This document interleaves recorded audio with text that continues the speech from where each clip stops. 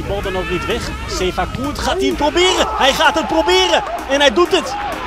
Wat een uh, weergeloos doelpunt van die verdediger van Excelsior Maasluis. Koert is de naam. Sefa Koert. Wat doet een verdediger die dit kan nog bij Excelsior Maasluis?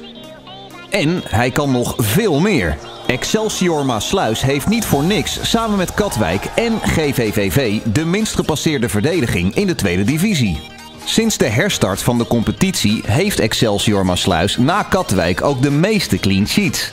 Ook het altijd zo makkelijk scorende Kozakkenboys beet zich zaterdag bijna stuk op de ijzersterke Koert. Die zelf nog bijna de gelijkmaker wist te produceren. En nu de lat. Ha! Na Vincent van den Berg en Daan Blij maakt Koert dit seizoen de meeste goals voor zijn club. Nou, een ouderwetse scrimmage en het is gelijk.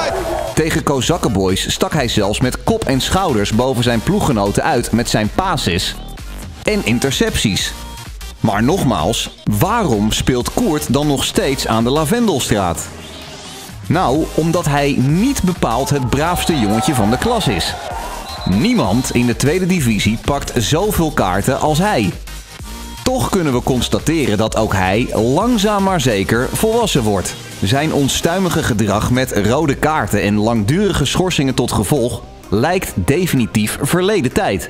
De vraag is alleen of een profclub het nog aandurft met een speler van al bijna 27. In elk geval heeft hij ons de laatste jaren continu bewezen dat zijn reputatie uit het verleden daar geen enkele rol meer bij mag spelen.